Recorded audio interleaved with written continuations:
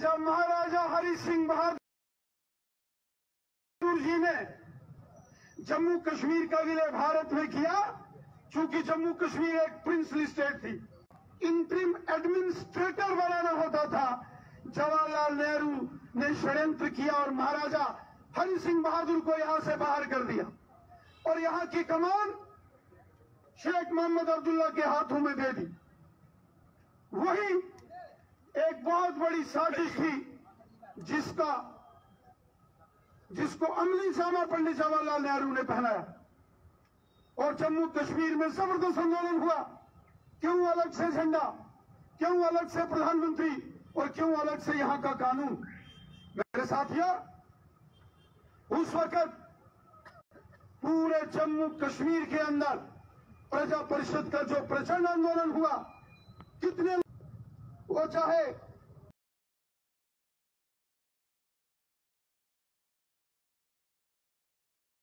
हीरानगर हो, सुंदरबनी का वो चौक, यहाँ गोलियाँ चली तो उस वक्त के कार्यकर्ता शहीद हो गए। जोड़ियाँ रामबन वहाँ कार्यकर्ता शहीद हुए, जिनके हाथों में तिरंगे झंडे।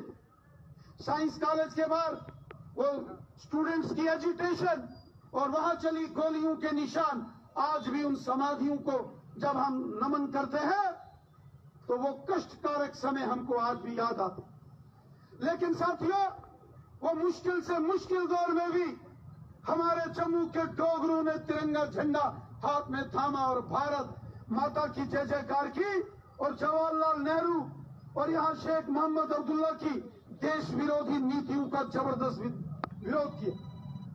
उसी वक्त जब यहाँ प्रचंड आंदोलन चल रहा था जम्मू कश्मीर में, पूरे देश के अंदर डॉक्टर श्यामा प्रसाद मुखर्जी जी ने यह संकल्प लिया कि वो हाथ में तिरंगा झंडा लेकर बिना परमिट सिस्टम लखनपुर कठुआ के प्रवेश द्वार को पार करके जम्मू कश्मीर में आएँगे, क्योंकि जम्मू कश्मीर भारत का हिस्सा और भारत देश के एक हिस्से से दूसरे हिस्से में जाने के लिए किसी को पासपोर्ट या परमिट नहीं चाहिए।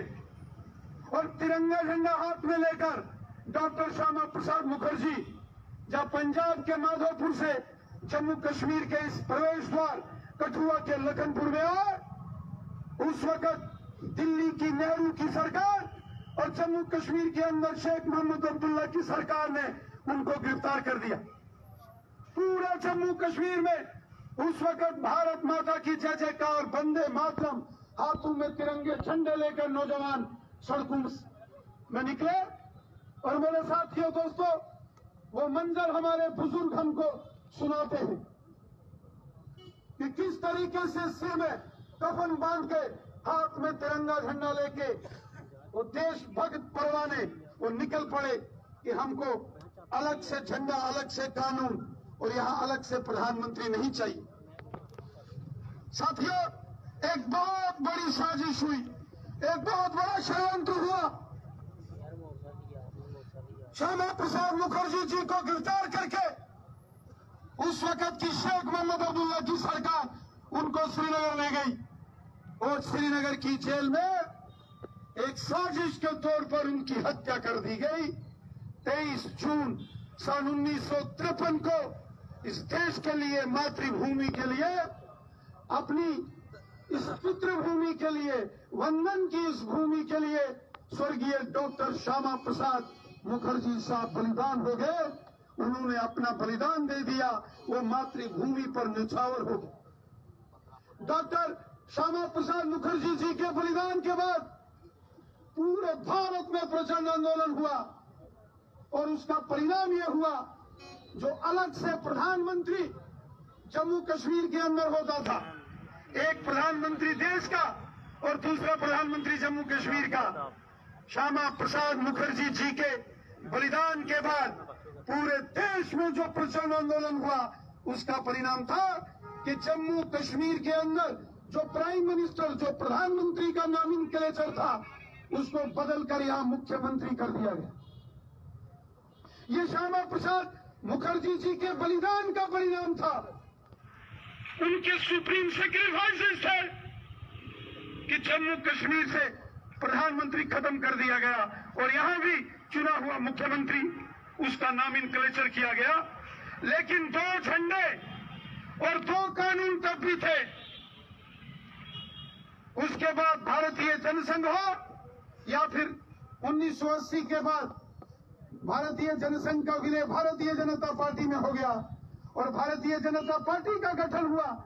और भारतीय जनता पार्टी के कार्यकर्ताओं ने सतत संघर्ष किया।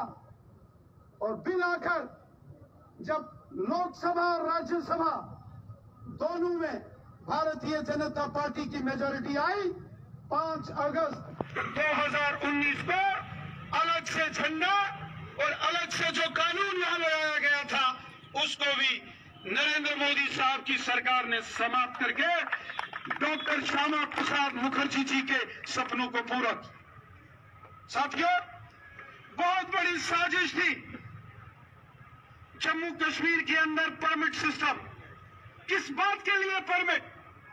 परमिट होता है पासपोर्ट पासपोर्ट टाइप व्यवस्था। एक देश से दूसरे देश जाना हो तो आपको पासपोर्ट या परमिट चाहिए होता है।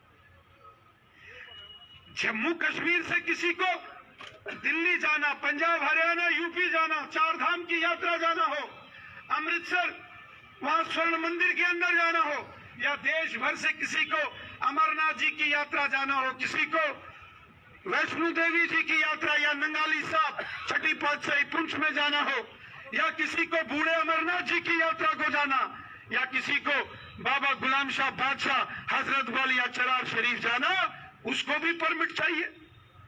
ये कैसी व्यवस्था थी यहाँ? और एक देश में दो दो झंडे, और वक्त की जो सरकारें थी कांग्रेस की, उनके दिल में मैल थी। वो वो सरकारें देश हित का काम नहीं करती थी। एक और विभाजन की रेखा, एक और विभाजन की लकीर खींच के रखी गई थी, ताकि भविष्य में ये भारत से ये क्षेत्र अलग हो जाए। इसको भापते हुए कि आने वाले समय में यहाँ बहुत बड़ा फिर से देश का विभाजन हो सकता है। हमारे पूर्वजों ने वो संघर्ष किया। साथियों, ये उनके बलिदान, उनकी कुर्बानियों का परिणाम है कि आज पूरे जम्मू कश्मीर में सिर्फ़ तिरंगा झंडा है, सिर्फ़ भारत का कानून है और सिर्फ़ भारत का प्रधानमंत्री। साथियों श्यामा प्रसाद मुखर्जी कहते थे जम्मू कश्मीर पूरे का पूरा जम्मू कश्मीर हमारा। हम नारा लगाते हैं जहाँ हुए बलिदान मुखर्जी वो जम्मू कश्मीर हमारा है। और फिर बोलते हैं जो जम्मू कश्मीर हमारा है वो सारे का सारा है। साथियों इसका मतलब है कि हमारा वो संकल्प कि जम्मू कश्मीर का वो भाग जो आज भी पाकिस्तान और चीन के नाजायज कब्जे में है, वो हमारी मातृभूमि है। वह भी हमारी पितृभूमि है। वह भी हमारी भारत माता का हिस्सा है। इसलिए हम सबको यह संकल्प लेना है, जैसे श्यामा प्रसाद मुखर्जी साहब ने अपनी मातृभूमि के लिए सर्वस्व अर्पण किया, इसी प्रकार चाहे वो पाकिस्तान के गैर कानूनी कब्जे वाला जम्मू कश्मीर हो, जिसमें मीरपुर, कोटली भिम्बर बाग पलंदरी, देवा, बटाला, नीलम वैली, गिलगित, बल्टिस्तान का क्षेत्र हो, मुजफ्फराबाद का क्षेत्र हो, ये सब हमारे क्षेत्र हैं। ये सब भारत भूमि है। ये वो सब हमारी मातृभूमि है। हमको ये संकल्प लेना है, आज नहीं तो कल। पाकिस्तान के इस नाजायज कब्जे वाले जम्मू कश्मीर के लोगों के पाओ में जो गुलामी की बेड़ियाँ हैं, वो हम तोड़ेंगे और वहाँ भी अपना तिरंगा झंडा शान से हम फहराएँगे। ये संकल्प जो डॉक्टर श्यामा प्रसाद मुखर्जी साहब ने लिया था, पूरा जम्मू कश्मीर हमारा है। वो सपने अपने बलिदानियों के, उन शहीदों को हमने पूरे करने हैं। आज इस बलिदान दिवस के इस पावन अवसर पर हम स्वर्गीय डॉक्टर श्यामा प्रसाद मुखर्जी जी के महान कार्यों को याद करते हुए उन्हें शत शत नमन करते हैं, उन्हें शत शत वंदन करते हैं। ये बलिदान दिवस, ये हम सब के लिए प्रेरणा दिवस है। ये बलिदान दिवस जो डॉक्टर श्यामा प्रसाद मुखर्जी जी ने दिया, ये हमें ये संदेश देता है कि हमें अपनी मातृभूमि, अपनी पितृभूमि, अपनी कर्म भूमि अपनी जन्म भूमि के लिए कार्य करना। साथियों, राष्ट्र हित में हमारे बलिदानियों ने जो कार्य किए, उन सबको स्मरण करते हुए मैं पुनः एक बार अमर शहीद डॉक्टर श्यामा प्रसाद मुखर्जी जी के श्री चरणों में नमन करते हुए, उन्हें अपने श्रद्धा सुमन अर्पित करते हुए आप सबसे यह निवेदन करता हूँ कि हमें अपने जीवन का हर पल पल पल क्षण क्षण अपनी मातृभूमि और अपने तिरंगे झंडे के लिए कार्य करना चाहिए। भारत फिर से विश्व गुरु बने। इस संकल्प को लेकर हमें काम करना चाहिए। इन्हीं कथनों के साथ मैं अपनी वाणी को यही विराम